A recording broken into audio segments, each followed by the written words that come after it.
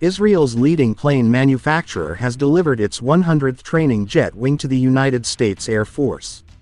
Israel Aerospace Industries IAI says that this demonstrates its long-term relationship with the U.S. Air Force. The supersonic T-38 is critical to the U.S. Air Force's pilot training program.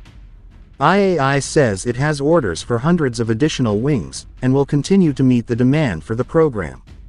The T-38 was originally developed by the Northrop Grumman Corporation, an American defense company, in 1961. Since then, more than 75,000 U.S. Air Force pilots have used it in training.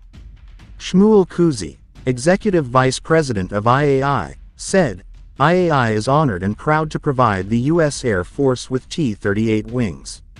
This program demonstrates that IAI is a world leader for aerostructures and wing production.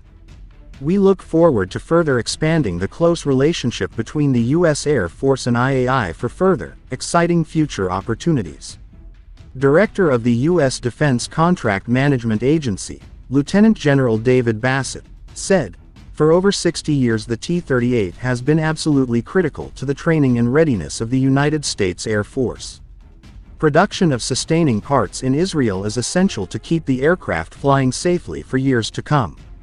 On behalf of all the professionals in the DCMA, congratulations on this important milestone delivery.